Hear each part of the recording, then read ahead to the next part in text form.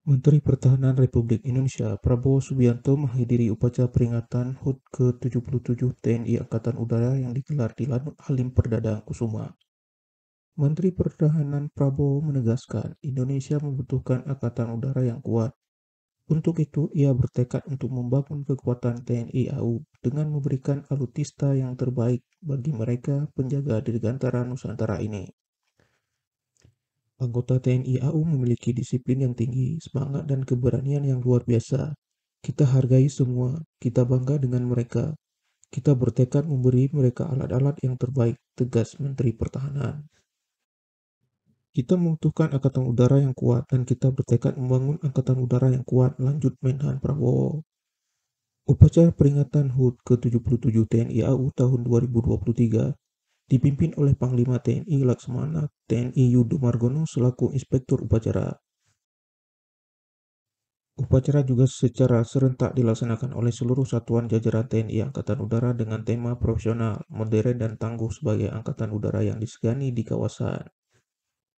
Panglima TNI dalam amanat yang menyampaikan bahwa selama 77 tahun TNI AU selalu hadir di dalam setiap panggilan tugas Ibu Pertiwi, baik dalam rangka OMP maupun OMSP.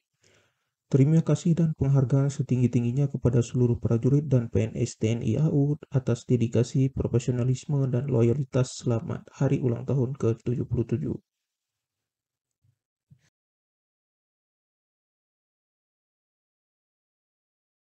Upacara HUT ke-77 TNI AU dimeriahkan dengan berbagai kegiatan, di antaranya parade dan defil, drum band taruna, demo darat, demo udara, helikopter display team dengan melibatkan berbagai alutista TNI AU.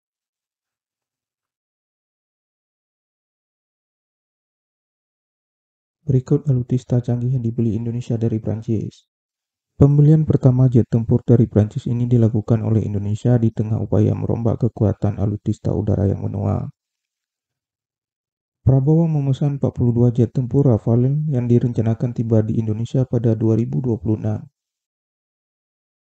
Rafale merupakan jet tempur yang diproduksi oleh perusahaan Prancis Dassault Aviation. Pesawat ini dirancang untuk fungsi serbaguna yang dapat menjalankan berbagai misi. Jet tempur Rafale dibekali sistem persenjataan yaitu rudal serangan udara ke udara, Mika dan Meteor, rudal serangan udara ke darat, rudal anti kapal laut, dan bom berpandu laser. Rafale dapat terbang dengan kecepatan maksimal 2.205 km per jam dan mencapai ketinggian 15.000 meter.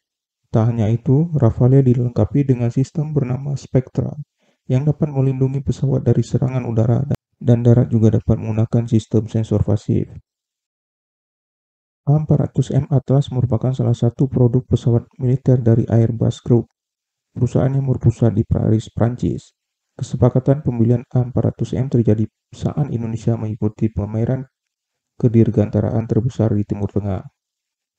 Diwakili oleh Kementerian Pertahanan pada 18 November 2021, dilakukan penandatanganan Letter of Intent pembelian dua unit A4000M untuk memperkuat TNI Angkatan Udara.